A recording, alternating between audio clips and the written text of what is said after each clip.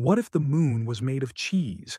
This is one of those questions that sounds like it came straight from a dream, a bedtime story, or possibly a very strange snack commercial.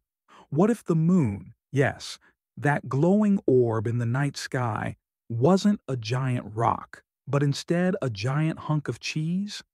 Let's ignore for a moment how utterly bizarre that is and take it seriously. Because why not?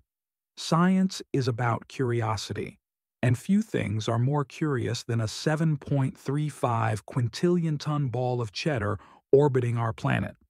First, we need to figure out what kind of cheese are we talking about? Is it Swiss, with holes, brie, all gooey in the middle? Or maybe something really solid, like aged Parmesan? For the sake of simplicity and a bit of fun, let's say it's classic cheddar, not too soft, not too hard, bright orange, tangy, dense, delicious. Now, let's talk numbers. The moon is about 3,474 kilometers wide. Its mass is roughly 7.35 times 10 to the 22nd kilograms. That's a lot of cheese. To put it into perspective, if the moon were cheddar, it could feed every person on Earth, generously, for about a trillion years. Assuming, of course, we found a way to keep it from going bad. But food supply is the least weird part of this scenario. The real question is, how would a moon made of cheese actually behave? Let's start with gravity. The moon's gravity is about one-sixth of Earth's, thanks to its mass and density. But cheese is way less dense than rock, about 10 times less, depending on the type. That means our cheesy moon would be much lighter. In fact, it might only have around one-tenth of the original moon's mass. Less mass means less gravity. So astronauts visiting the cheese moon would bounce around like overcaffeinated rubber balls.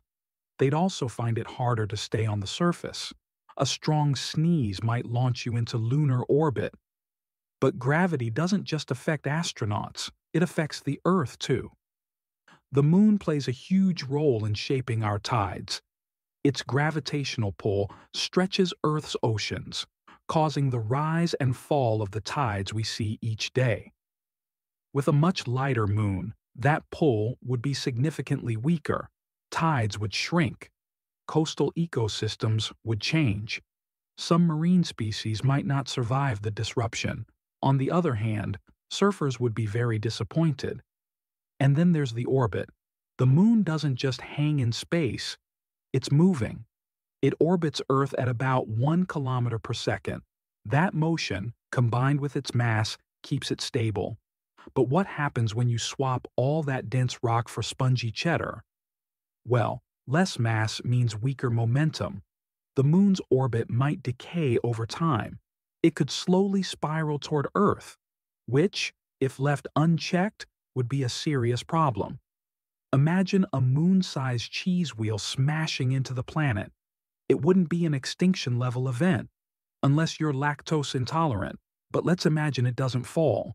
Let's say the moon remains stable, just cheesy. What about space weather? The moon gets bombarded by micrometeorites all the time. That's fine for solid rock. But for cheese, not so much. Every little impact would splatter, crumble, or melt part of it. Over the years, the moon would start looking like a war-torn cheese ball, full of gouges, cracks, and smelly craters. Then comes the sun. The moon gets very hot during its day, up to 127 degrees Celsius. That's enough to bake most cheeses into bubbling puddles. So we'd end up with a moon that sizzles on one side, possibly releasing a fine mist of cosmic fondue. The smell? Unimaginable the night sky might permanently reek like a burning grilled cheese sandwich. Let's not even talk about the moon's dark side. That's where the mold would grow. But hold on, what about us?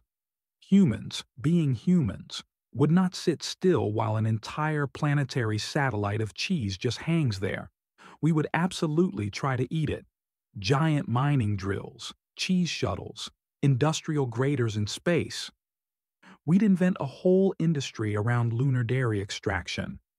CheeseX Corp would be the first trillion dollar company, and ads would read Real Moon, Real Cheese.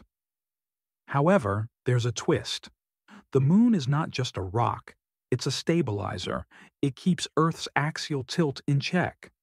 Without the moon's mass, Earth would wobble more. Seasons would become extreme, unpredictable. Winters could turn Siberian in the tropics. Summers might roast the poles. The climate could swing wildly from decade to decade. So eating the cheese moon might taste great in the short term, but eventually we'd pay the price. Entire ecosystems would collapse.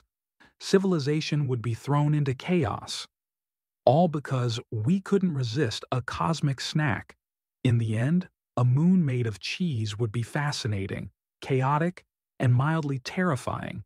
It would smell, it would wobble, it would ruin the tides, and probably the weather. And yes, we try to eat it anyway.